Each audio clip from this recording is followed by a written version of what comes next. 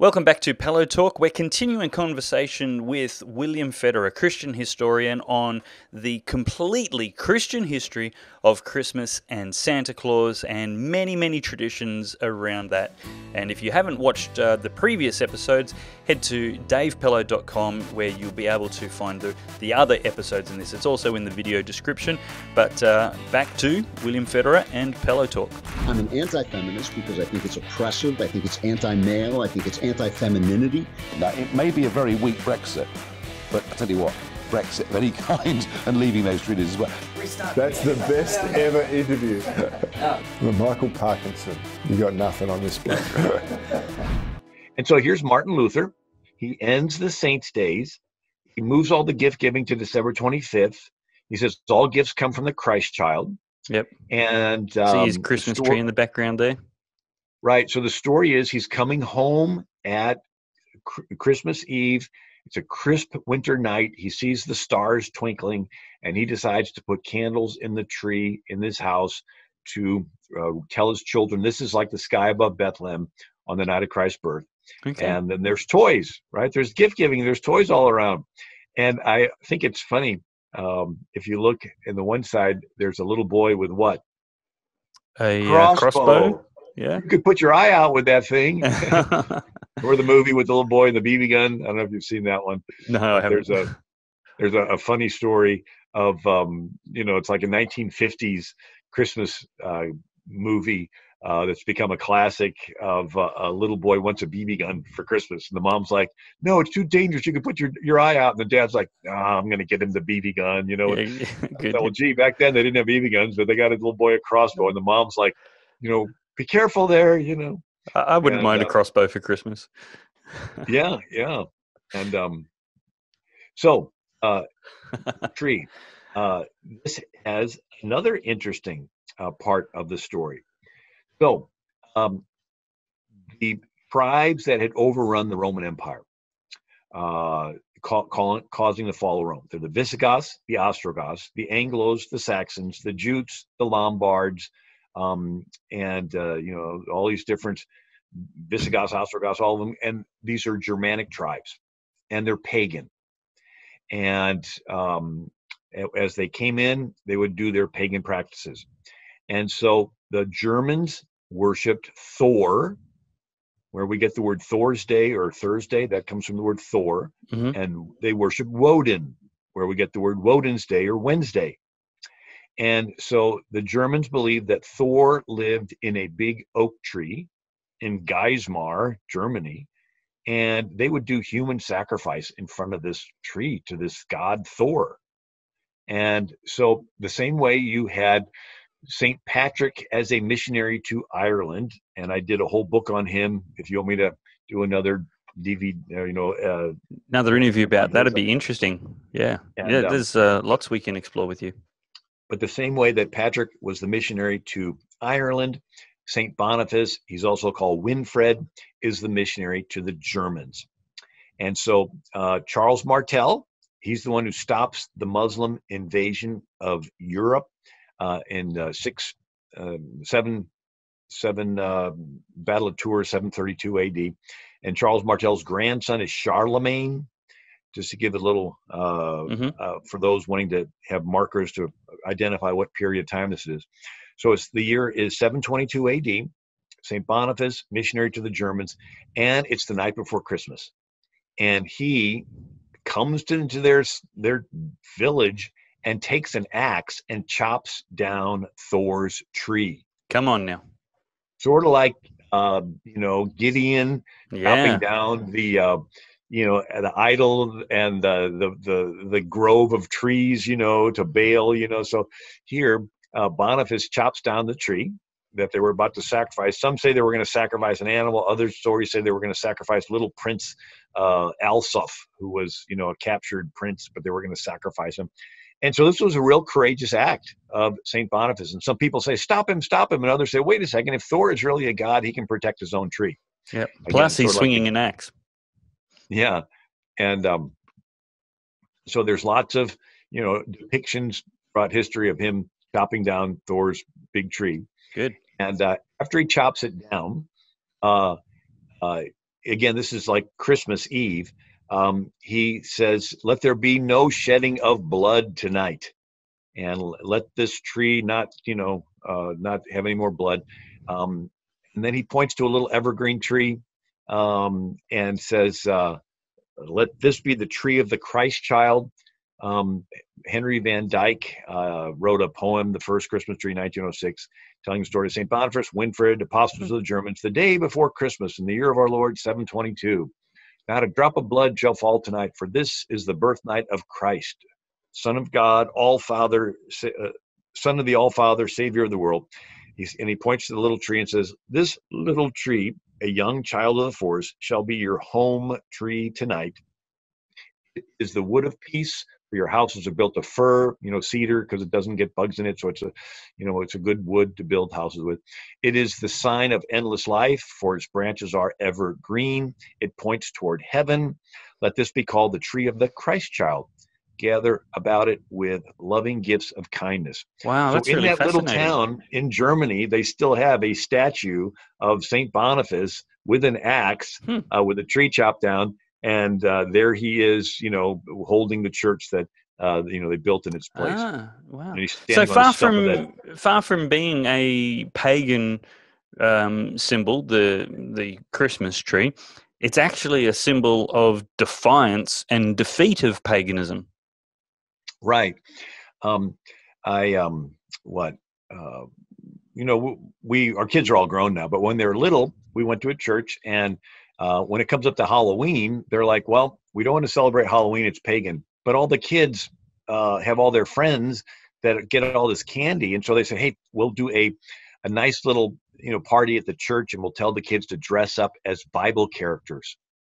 And then you know and they'll have little games for them in the gymnasium they'll give them all little presents you know and and um uh my my one son wanted to dress up like Moses. And, for the record, nobody was naked in the gymnasium.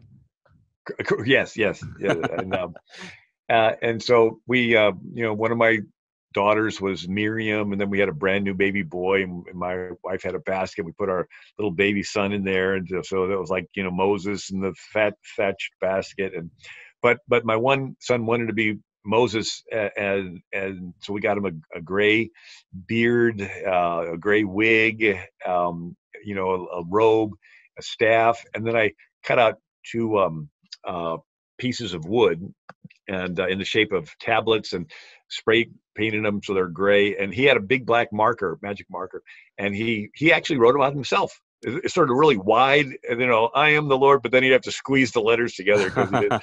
um, and and so he would and on our way home from the um from the church uh we were passing all these houses and these kids going up to get candy and my son wanted to so i, I let him go up to some of the houses and uh you know the, the kids would like say a joke or something and so the people in the house would, would come up and say, Oh, little boy, what do you have to say? And he'd say, I'm the Lord thy God, thou shalt have no other gods before me, thou shalt not worship idols, thou shalt not take the name of the Lord thy vain, keep the holy Sabbath, thou shalt honor thy father and mother, shalt not kill him. And, and the whole house gets quiet. And people are like looking out from the from the room and they're like looking at the front door. One house there was a guy like dressed up with, with a vampire, you know, and he and he says, That's scary. so they're like, Here, kid, take all the candy you want. You know, it's like and, um, but anyway, but but it's this idea that uh, in, instead of um, when these pagans were doing holidays, uh, instead of uh, ignoring it and having a brand new Christian holiday, they said let's show the superiority of Christianity by having our holiday smack dab on top of their holiday. right. And then over time, people will forget the pagan stuff and all they remember is the Christian stuff. Yeah. That was the attitude. It wasn't like, oh, let's weave a little bit of this pagan stuff in there. Yeah. And um, so, you know, um, It's a very great perspective because a lot of people um, make a big deal out of that and, and really lose the opportunity to assert the gospel. Now, so now we've established the tree, and it is interesting. Uh, I don't know if I put it in my presentation or not, but for centuries after this, the tree was a depicted as a triangle, right, an evergreen tree, Mhm. and it was a symbol of the Trinity. right? Oh, the good. three sides: Father, Son, the Holy Ghost. Nice. And very similar to St. Patrick, when he evangelized Ireland, he used the three leaf clover to depict the Trinity, right? Wow. Hmm. Three little three leaf clovers, you know, and one, three persons, one God. And so the Christmas tree as a triangle was per- portrayed as the Father, Son, the Holy Ghost. Now, the lights in the tree, the earliest depiction of lights at this time of year is Hanukkah. Okay. So bef- uh, before Christ, there was this period where uh, you know Cyrus of Persia let the Jews go back and rebuild their temple, and so the Jews have some little bit of freedom, but they're under the Persian Empire. But Alexander the Great conquers the Persian Empire, and uh, now you have this pagan Greek naked stuff, right? The statues coming in, uh, and then Alexander the Great dies. His kingdom is divided into four, and the Seleucid general takes all the the Persian Empire. And uh, he thinks the Jews are going to rebel, and so he goes in there and kills a whole lot and um, outlaws their Jewish religion. Uh, put you know sacrifices a pig in the altar, uh, does all this stuff, and so the Jews finally drive these Seleucid, you know, Syrian pagan people out, and they're going to rededicate and clean out the temple. They're going to relight the lamp. There's not any oil. They find one little bitty flask of oil, and it's just enough to burn this lamp for one day. But they do it anyway, and it stays lit for eight days. And so this is uh, the celebration of call, called the Feast of Dedication or Hanukkah. And even Jesus celebrated Hanukkah. It says in John um, that um, Jesus was in Jerusalem for the Feast of Dedication. And the people came up to him and said, "How long will you wake us wait? You know, wait. Are you the Christ?" And and um, so so prior to Jesus, there were there were lights, candles lit at this time of year. They were lit during Jesus' time, they were lit. Uh, and so the thought is that surely Martin Luther would have seen or been aware of Jews lighting candles at this time of year, and maybe that's where he also got the idea to put candles in the branches of the tree at the time of um, uh, when he put the you know the tree in his house as the sky above Bethlehem on the night of Christ's birth. Uh, is this interesting? It is, yeah. And then we have England, um, and so you have Henry VIII bring the Reformation to England, not because he had a spiritual experience like Martin Luther, he just wanted another wife. And Yes. the Pope won't recognize his divorce from Catherine of Aragon, and he decides to make himself his own Pope. And he went, went on to have six wives divorced, beheaded, died, divorced, beheaded, survived. Um, Henry um, uh, more or less brings back an old Roman holiday. We have to remember that Britain was a Roman colony, Right. and the Romans had a feast at the end of the year called Saturnalia. And Saturn was their god of feasting and plenty and merriment, sort of a party guy. And so during Henry VIII's time in England, Christmas was a party time. It was sort of like Mardi Gras. Now, what's Mardi Gras? Mardi Gras was a holy day that was the beginning of the 40 day uh, fast and prayer time before Easter. And it was the you know the last meal that you had before the beginning of Lent, before Easter. But Right. but Mardi Gras was a holy day, getting Yeah. ready to dedicate yourself. Uh, but now Mardi Gras is a lewd party. Mm. And it's sort of what happened with Christmas under Henry VIII. It became drinking and carousing and partying. And um, uh, Saturn, uh, the god of Roman god of feasting and plenty and merriment. Mhm. If you remember the Christmas Carol with Charles Dickens, there is the spirit of Christmas present, and he's this guy with robes and a wreath in his hair and a and goblet of wine and fruit, and and um, you're looking at him, asking yourself the question, who is he? He Mm. sort of looks like Santa Claus, but he also sort of looks like some Greek god. Mm. Well, that was Saturn, but they Christianized him, called him Father Christmas. Okay. Couldn't call him Saint Nicholas because uh, when the Reformation happened, they outlawed uh, Saint Nicholas in, in England. Um, but Okay. you can begin to see uh, it was in England where some of this mixing took place. Um, and then you had the Puritans. Now, the Puritans were persecuted. Finally, with Oliver Cromwell, they took over England. Hmm. And the Puritans outlawed Christmas. The Puritans were really strict. Matter of fact, the Puritans tore down William Shakespeare's Globe Theater. Why? oh because no! they What said, party poopers? yeah, they said that it's lewd. You're taking God's name in vain, and they they forbade Shakespeare from writing plays even mentioning the name of God. How could you mention God's name in your lewd play? It's it's it, disrespectful. And so it was after this that Shakespeare began to write like Midsummer Night's Dream and these little nymphs. And you know he had to refer to some you know greater power to fit in with his play, but he couldn't mention God. And so now it's this you know sort of Greek fairy tales type type stuff. Mm. Um, but the Puritans outlawed Christmas, and the Puritans settled America. And um, here's one of the Puritan founders. He says, Can you and your conscience think that our Holy Savior is honored by mad mirth, long eating, hard drinking, and lewd gaming, and rude revelry, and a mass fit for none other than a Saturn or a Bacchus or a night of Mohammedan Ramadan? Because the Muslims would fast during the day, but they would eat a whole lot at night, right? right. He says, You cannot possibly think so. So the Puritans, uh, they were really, really strict, and um, the pendulum sort of swung the other way. So the Puritans in New England, 1659, passed a law Whosoever shall be found observing any such day as Christmas and the like, either by forbearing labor or feasting or any other way upon such account, aforesaid, every such person sh- shall pay for each offense five shillings as a fine to the county. Hmm. So you couldn't even celebrate Christmas under the Puritans. Um, so the pilgrims came over. They did not celebrate Christmas. Sort of interesting. A second boatload of pilgrims came over, and they sort of wanted to celebrate Christmas. Here's the ship's log the captain of the Mayflower was Christopher Jones. And this is the first time the pilgrims come over, December 25th, 1620. He says, at anchor in Plymouth Harbor, Christmas Day, but not observed by these colonists, they being opposed to all saints' days, etc.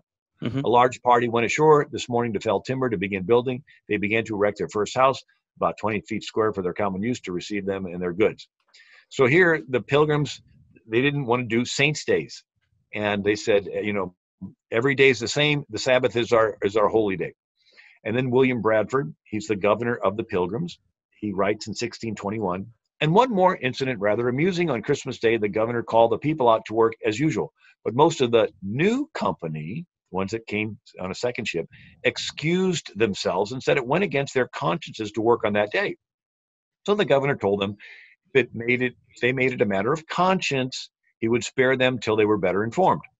So he went with the west, the rest, and left them. But on returning from work at noon, he found them at play in the street, some pitching the bar, some at stool ball, and such like sports.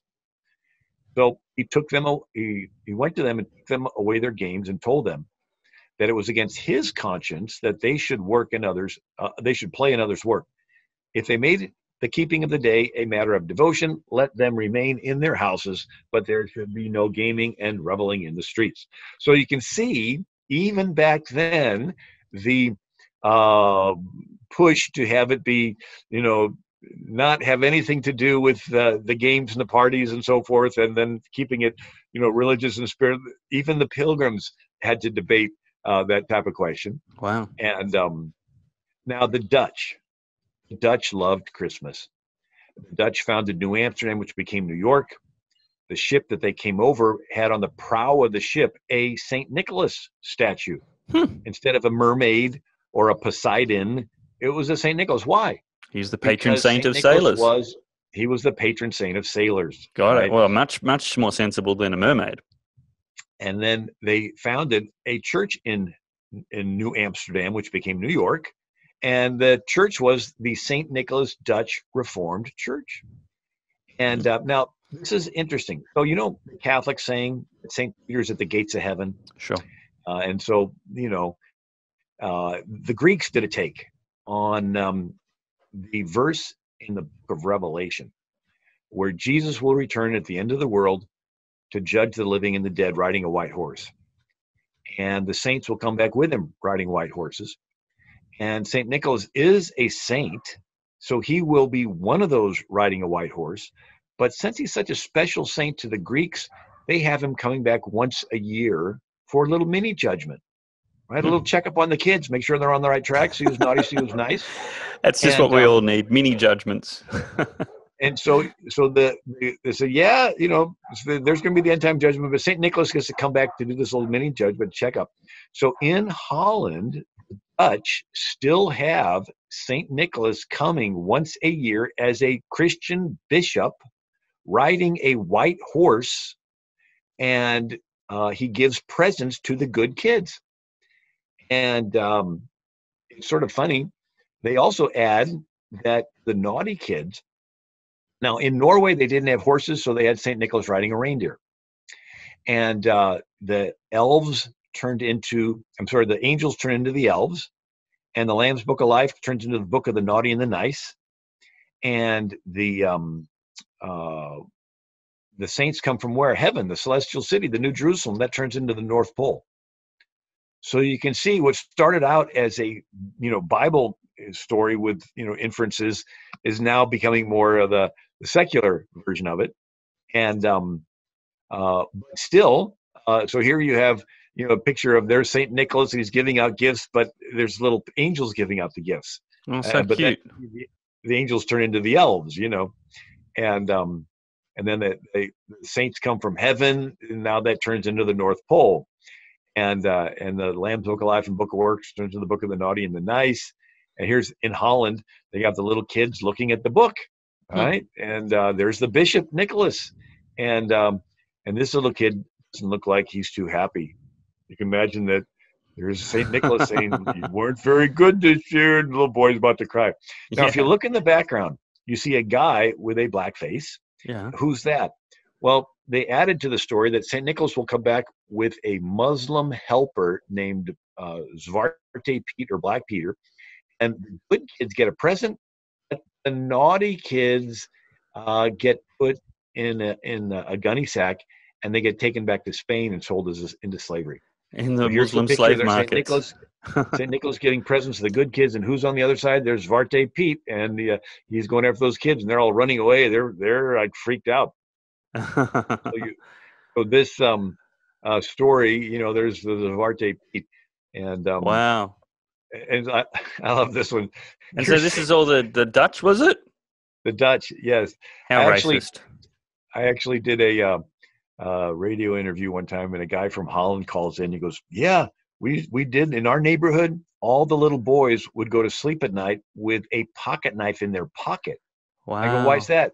He goes, "That's in case we woke up and we were inside a Zwarte Piet's uh, gunny sack. We could cut our way out."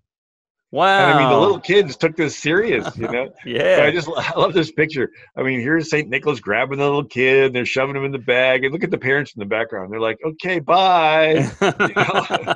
and um, and there's another one, you know, and the little girl's like, "Oh no, Santa Claus is coming." Uh, I, I have five brothers and five sisters. I'm from a big family, wow. but I would have loved to have tormented my little brothers with this one. Hey, Yeah. Santa Claus is coming. Might not see. It's been really good having you as a brother. Now, now go to sleep. it's another one. They're they're grabbing the little boys and look at those other little kids crying and please don't take my little brother.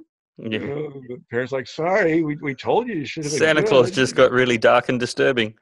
I know, I know. This is like serious, you know. It was like, bye, little brother, we'll miss you. Wow.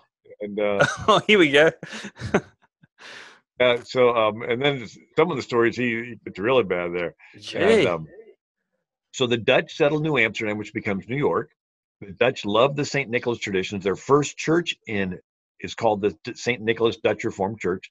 Um, there's the um, the ship, the Good Frau, but it had a figurehead of St. Nicholas on the prow. yeah, cool. Um, they had the uh, Old Stone Dutch Reformed Church, founded in 1642, Battery, New, you know, New York. Is that still Uh, standing? it- no, uh, but it did grow into the largest Protestant church in North America. Hmm. It was huge. It was finally, you know, they had this big thing there, um, and it was at the corner of Fifth Avenue in New York at 48th Street.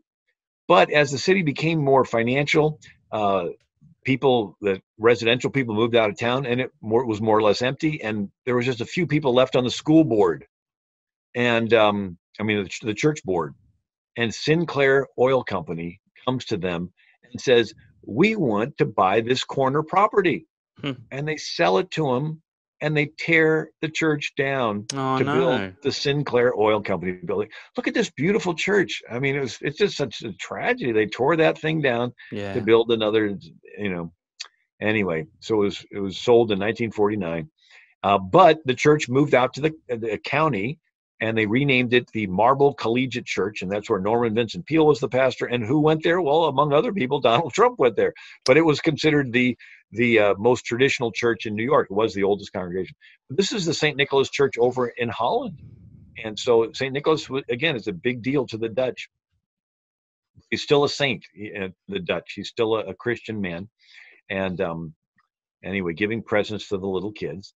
Um, and uh, then New Amsterdam, which became New York, uh, there was a writer named Washington Irving. He's the one who wrote Rip Van Winkle, Legend of Sleepy Hollow. He wrote Diedrich Knickerbocker's History of New York from the beginning of the New World to the end of the Dutch dynasty. And it's like a, you know, John Bunyan. It's it's like a bunch of fanciful stories like Rip Van Winkle, you know.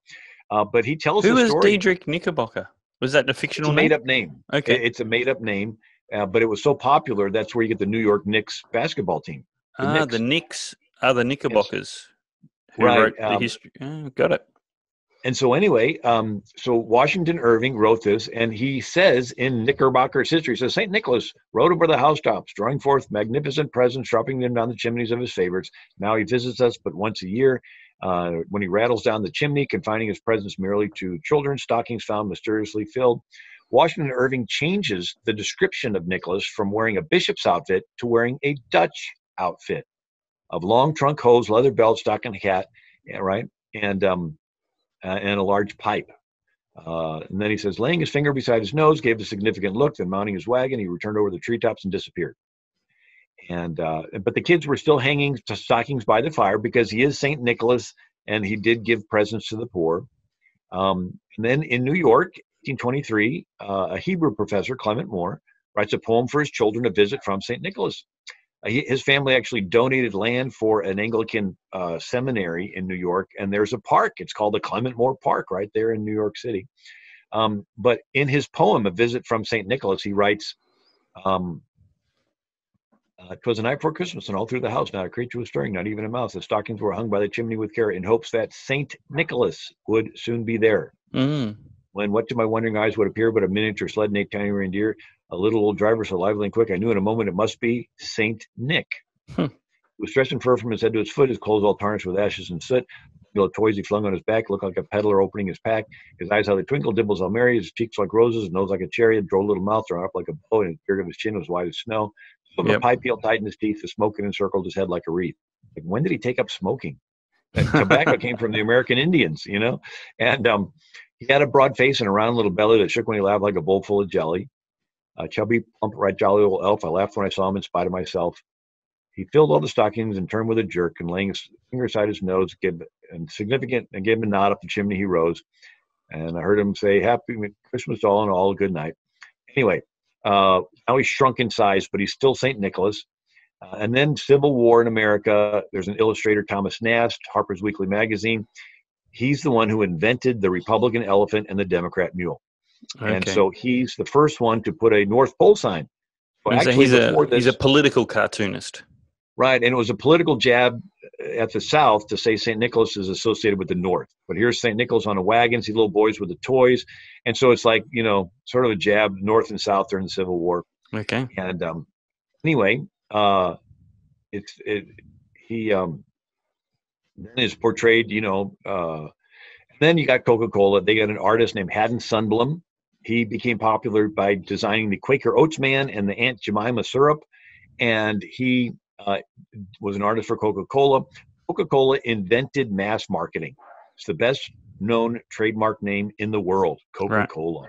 And um, uh, he- for 30 years, he did a painting every year of St. Nicholas, Santa Claus, uh, drinking Coke. Now, Santa Claus is the Dutch pronunciation of Saint Nicholas. Sant Niklaus. Mm. Sant Niklaus, Santa Claus. So Santa Claus is just Dutch for Saint Nicholas. And um, anyway, now he's full grown again, huggable grandfather, you know, rosy cheeks, uh, nice complexion, you know, just uh, uh, a nice, again, huggable grandfather type guy. But that's the image that got spread all around the world because of Coca Cola. Mhm. And um, uh, but, uh, I thought this was funny. Got him smoking cigarettes, you know. And um, well, why not? He's migrated from a pipe to a to a cigarette. but uh, you know, anyway, um, but the point I bring out is that if you peel back the layers of the onion, so to speak, the Santa Claus today uh, was the Saint Nicholas, uh, but it goes all the way back to the Greek guy who Mm. was a real person, who was a real Christian, who was imprisoned under Roman emperor, uh, willing to face death for his faith in Jesus. Mm. That he gave to the poor, but he wanted to do it anonymously because he wanted the credit to go to God. He stood up against corrupt politicians. He was pro-life. Stood against uh, exposure of unwanted infants and so forth. And um, anyway, so we can choose to remember the real story uh, and of there really is a, a Santa Claus. So that's my book. The book is There Really Is a Santa Claus, The History of St. Nicholas and Christmas Holiday Traditions. And my website is AmericanMinute.com. AmericanMinute.com, uh, where you can order this. And um, I also have it as an ebook, so you can order it and have it emailed to you. And the, you know, the pictures are all in color. So uh, hope you uh, found that interesting. Bill, thank you so much. I've um, I've really enjoyed uh, reading the ebook. I, I got the ebook version of it, and um, it's uh, great plowing through it. It's a great little uh, a reference as as well um, for some of these things. It's great to even have Santa Claus redeemed a little bit from being this uh, Coca Cola commercial, um, and and central to the commercialization of Christmas altogether. Redeemed back to hey this guy was a committed Jesus worshipping believer. And, um, and and this is the whole purpose of Christmas. He, he was all about those things that you mentioned, all the things that the kingdom of God is all about, and that is you know peace on earth between um, mankind and our Creator. That finally the war is over between us, and there's the opportunity of salvation for God to satisfy his wrath and demonstrate his mercy in the one life of Jesus Christ offered as a sacrifice. That first uh, Christmas gift. Um, so that that book is is just really good. And I also love about your website. Uh, I love American history. Um, I'm fascinated with it as an Australian. It's uh, not irrelevant to our own history and the advent of Christianity throughout um, Western democracy um, certainly as as integral a role as England played in our in our common um, Christian legal traditions and and constitutions, etc. So thanks for all the work that you do, and um, and yeah, I encourage everybody to check out AmericanMinute.com and um, and look for other videos on the internet with um, with William Federer and uh, that's uh, exactly the place uh, to get some of that history. Now, we're also going to have um, more interviews with you in the future, and uh, there's just so much to do. I'm, I'm certainly going to break this interview into um, into smaller pieces um, so that people can di- digest it in, in chapters, perhaps. Um, but we'll also Well- put the full the full thing up there as well. Well, Dave, thank you so much. It's been an honor being on with you, and uh, uh, Merry Christmas to all, and to all a good night, and look forward to the next time. Very good. Thank you very much. That's uh, William Federer, and you can uh, get all of his details, find out much more, order the book. Um, there really is a Santa Claus for yourself, and it might make a great Christmas present for somebody, and also get a whole lot more information from AmericanMinute.com. Just a reminder that the Church and State Summit is on in February, and we've got uh, Dr. Michael Brown coming over all the way from America as well as uh, many other high caliber speakers uh, from Australia, just to share more information about our Christian heritage, our Christian legacy, and what the Church of Jesus Christ has to offer, um, like Santa Claus, as activists for justice and righteousness and peace and good morals in a nation. This is a blessing to our 25 million neighbors. And uh, this is not something that we have any right to withhold from them. And so the Church and State Summit is all about equipping, empowering, encouraging, and inspiring Christians to be like Bishop Nicholas of Myra, uh, somebody who's actively involved in, in the welfare of his nation and, and his neighbors.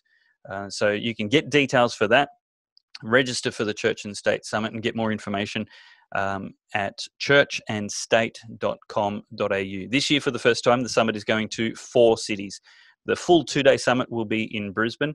But uh, before that, we're going to spend an afternoon and an evening in Auckland and Melbourne and Sydney. And uh, that's going to be a whole lot of fun. So if you can't make it to Brisbane, I hope you can make it to one of those other stops. And of course, um, if you can't make it at all, or if you're there and you want to relive the whole thing, you're also going to be able to get the whole lot on video. Um, but that's it for Pellowe Talk. Don't forget to head to my website, davepellowe.com. Subscribe to newsletters there. And you can also follow me on all the social media channels at Dave Pellowe. And uh, until the next time we uh, see you, I'll see you in the comments section.